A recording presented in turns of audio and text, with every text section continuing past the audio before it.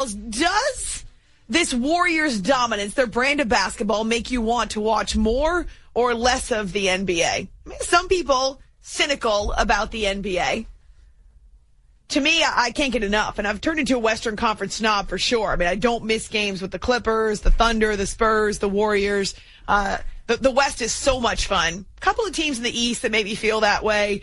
But in general, I'm really excited about the rest of the NBA regular season and the postseason. I don't remember buzz about a team, all positive for the most part, like the Warriors in a while. I mean, you know, the Lakers had people who hated them, loved them. Bulls same way. Um, the Spurs, I think, are are kind of. I think the, I think the Warriors are now like the kind of the modern day Spurs because I don't.